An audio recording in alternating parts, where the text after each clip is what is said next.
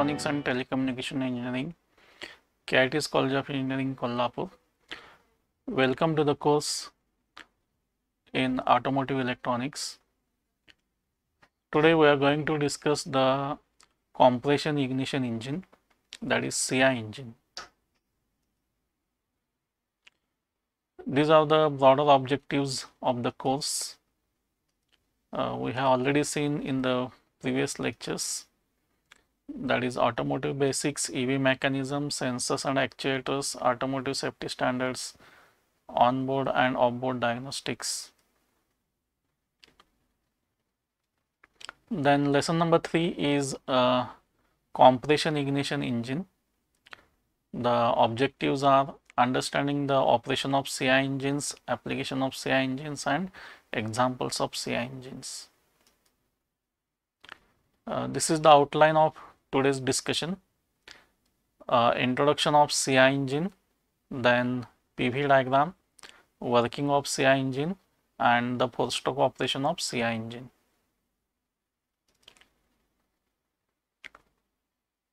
Now this is the introduction of uh, compression ignition engine. So in case of CI engine, uh, it has uh, no carburetor and no spark plug. So this is the main feature or we can say this is the speciality of a CI engine. It doesn't require carburetor and spark plug, uh, but it has a fuel injector. Okay, so this is the uh, important difference between SI engine and CI engine.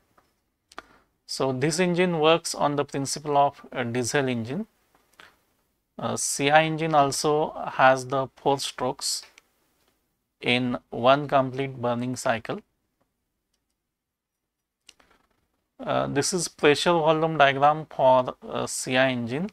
On x axis there is a volume and uh, y axis there is a pressure. Okay.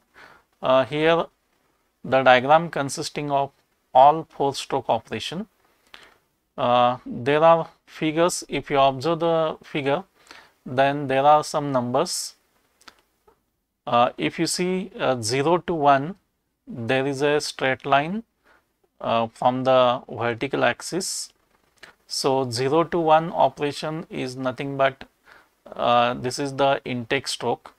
So in this particular stroke the air is taken air alone is taken inside the cylinder. This is very very important.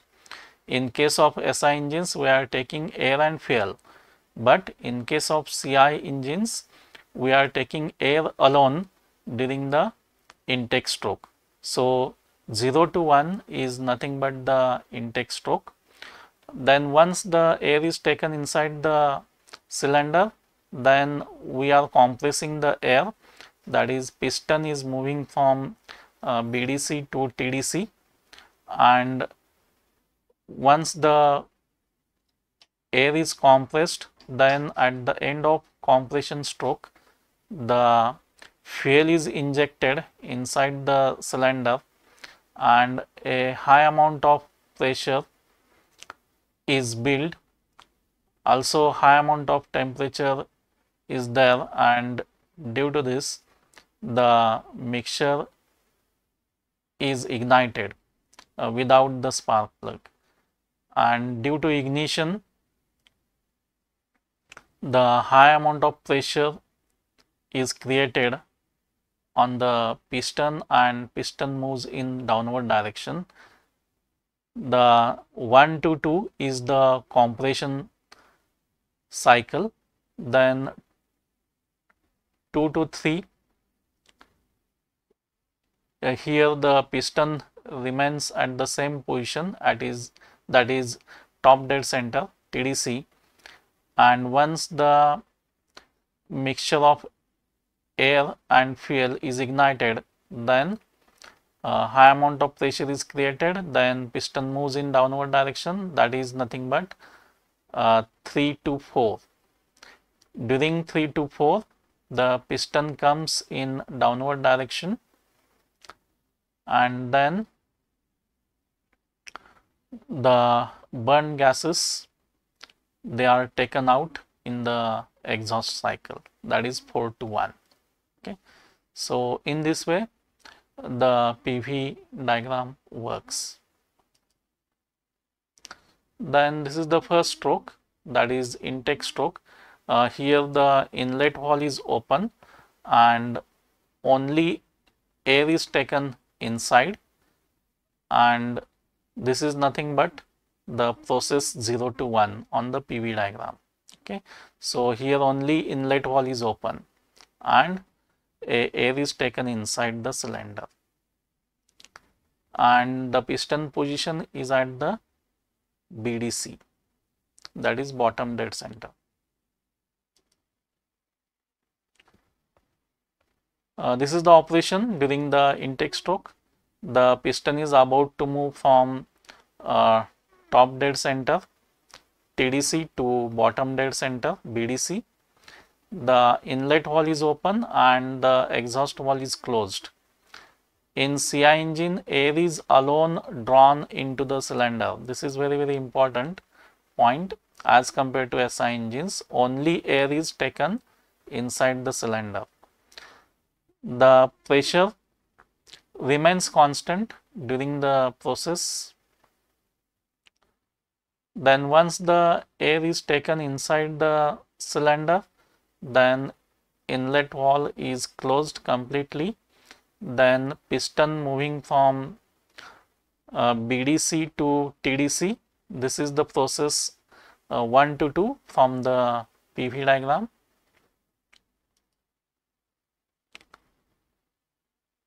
Both uh, intake and exhaust wall is closed. The piston moves from BDC to TDC. The previously drawn air inside the cylinder is then compressed.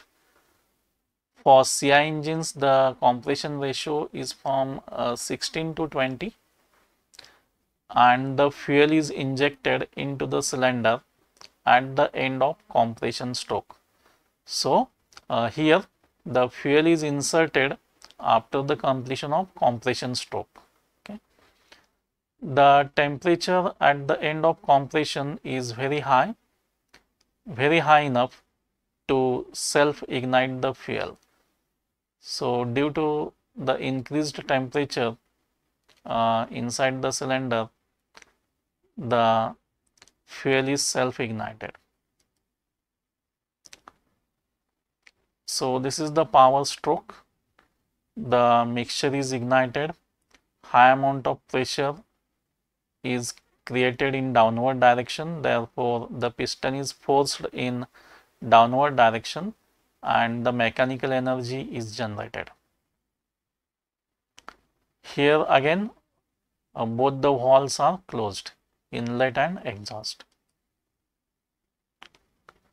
So both inlet and exhaust valves are remain closed in this state.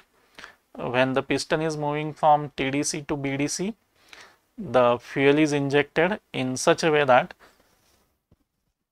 uh, combustion maintains the constant pressure uh, inside the cylinder while volume increase that is process 2 to 3 from PV diagram. After the complete injection of fuel, the pressure decreases as the volume increase. The process 3 to 4 from the PV diagram. And at the end of this stroke, the exhaust valve opens and pressure reduced to atmospheric. Then the last stroke, exhaust stroke, the process is 5 to 1 on the PV diagram. So, here the exhaust wall is open, the piston travels from BDC to TDC and expels the burned gases from the cylinder. So, whatever burned gases are there, those are taken out via the exhaust wall. So, reflection spot so, there is one question. Uh, the above four stroke collectively form a cycle known as uh, four stroke cycle which is used in most of the modern IC engines. Uh, now just pause the video and think on how many spark plugs are present in CI engines. Pause the video and think on the question.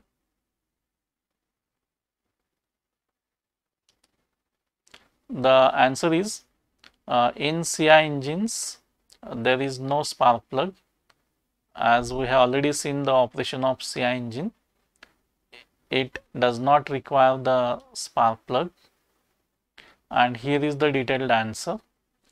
Uh, you might have thought on uh, various options such as a single spark plug, two spark plugs and four spark plugs etc.